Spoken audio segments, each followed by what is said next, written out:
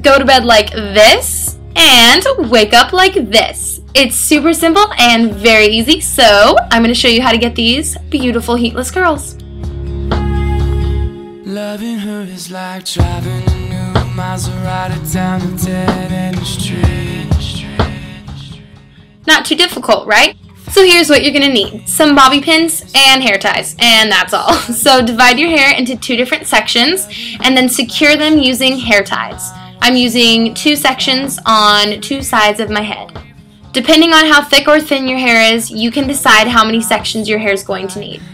I'm going to take a piece of hair in that section and wrap it around the ponytail or the hair tie. And then I'm going to secure that with a bobby pin. Do that with the rest of your hair in that section and you will be done. So basically wrap, bobby pin, and then repeat.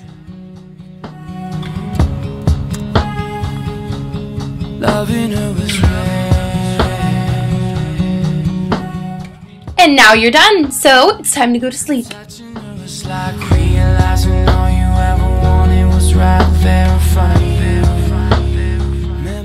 Angry morning face!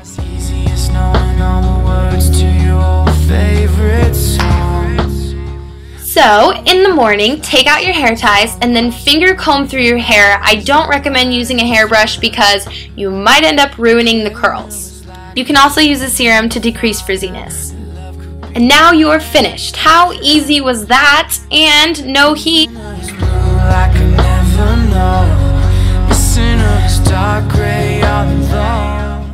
So I'm going back to bed now. Thank you guys so much for watching this video, and I will see you later loving